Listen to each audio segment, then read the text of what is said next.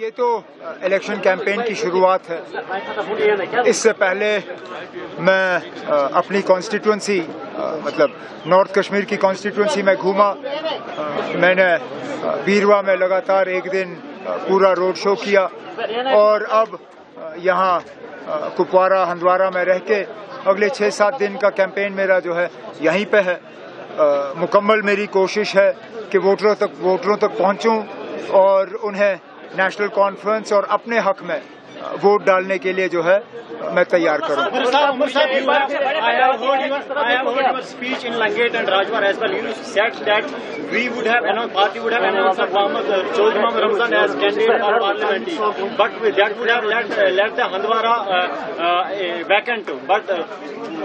there are discussions now going on, going on if uh, Umar tomorrow becomes the parliament member, who would be then chief minister uh, in the आपको ना-?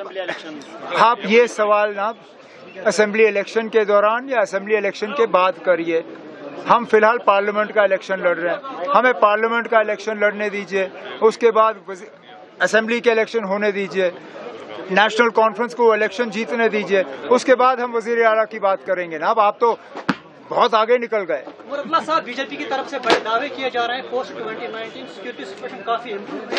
हालाँकि हर रोज encounter देखने को मिल target लेकिन अब security का जो जो माहौल है वो अगर बीजेपी को बेहतर होते हुए नज़र आ रही है तो उनको पिछले दिनों सुरन सुरनकोट में जो एयरफोर्स की कॉन्वॉय पे जो अटैक हुआ उसका जवाब देना चाहिए।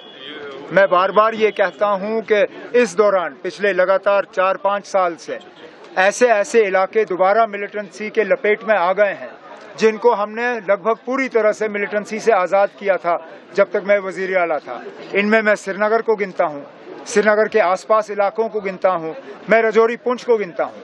लेकिन इस दौर, पिछले चार, साढ़े चार साल के अरसे के दौरान, आप देखिए कितने टारगेटेड किलिंग श्रीनगर में हुए। कितने एनकाउंटर्स पुंछ में हुए?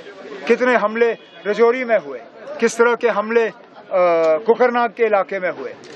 हकीकत ये है कि फ़िलहाल मिलिटेंसी को काबू में लाने में अभी काफ़ी वक्त लगेगा। सजा साहब ने एक ट्वीट किया उसने उसमें कहा मैं बीजेपी वाला नहीं हूँ न मैंने किसी जगह पे बीजेपी वाला कहा उस हवाले से आपका क्या कुछ नहीं कहना ना। सर हम सब बीजेपी ने उसको मुख्य यहाँ वज़ीर अला बनाने की कोशिश की।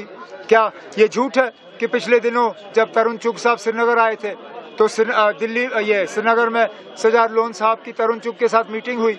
हुई ना? ये पिछले दिनों बीजेपी के स्टेट प्रेसिडेंट यहाँ आके पीसी की मदद करने की बात करते हैं। ये हकीकत है ना? और और कौन? जब रिसेंट स्टेटमेंट आया है कि अगर हिंदुस्तान पाकिस्तान पे हमला करेगा उन्होंने चूड़ियाँ नहीं पहनी है। जब वो पावर में होता है तब वो कुछ और बयान नहीं ना ये नेशनल कॉन्फ्रेंस नेशनल कॉन्फ्रेंस की क्यादत हमारी पार्टी का हमेशा से ये मौकूफ रहा है कि मसले जो हैं वो बातचीत के ज़रिए हल होंगे। हम बार बार ये कहते हैं कि और कोई नहीं तो कम अज कम जिस सबका वज़ीर आज़म को इसी हुकूमत ने भारत रत्न से नवाजा, उनकी बात याद करिए। अटल बिहारी वाजपेयी साहब ने क्या कहा? कहा, हम दोस्त बदल सकते हैं, पड़ोसी बदल नहीं सकते। पाकिस्तान हमारा पड़ोसी था, है और रहेगा। जहाँ तक बातचीत की अगर हम बात करें, उसके लिए माहौल तैयार करना होगा। और ये दोनों मुल्कों की ज़िम्मेदारी है। अब पाकिस्तान में इंतखाबात के बाद एक नई हुकूमत आई है। यहाँ पे भी चार जून को नतीजे निकलेंगे। ज़ाहिर सी बात है, हुकूमत बनेगी। हम उम्मीद करेंगे कि दोनों पाकिस्तान और हिंदुस्तान की हुकूमत जो है मिलके इस तरह के हालात कायम करेंगे कि बातचीत का सिलसिला जो है वो शुरू हो सकेगा। कि कि को ख्वाब आते हैं कि मैं बीजेपी का हूँ। अगर मैं अगर मैं बीजेपी का हूँ तो वो प्रूव करके अगर नहीं तो वो अपाल तब मैं क्यों अपोलोजाइज करूँ ना? बीजेपी ने उसको 2018 में चीफ मिनिस्टर बनाने की कोशिश नहीं की। ये तो अपने दस्खत से। और और जो पिछले दिनों बुखारी साहब के घर में श्रीनगर में मीटिंग हुई जिसमें तरुण चुग वहाँ मौजूद थे उसमें सजाद लोन साहब नहीं गए? गए? ये कौन सी छुपी बात है? ना चले